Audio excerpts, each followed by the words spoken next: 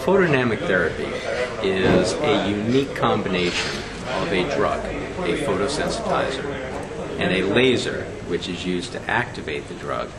to cause destruction of neoplastic or tumor cells.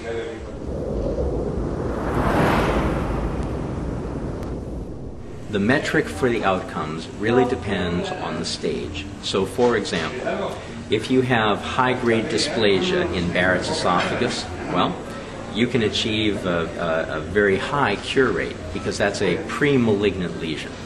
If you have an early airway cancer, again, very high rate.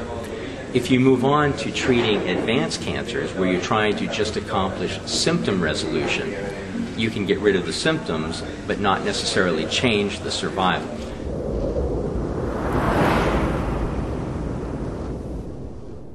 For us, um,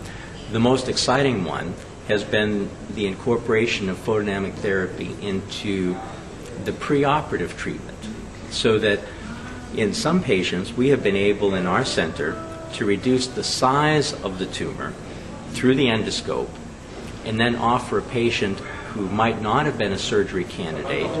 a successful operation or offer someone instead of removal of an entire lung maybe removal of part of it which is a better physiologic outcome for the patient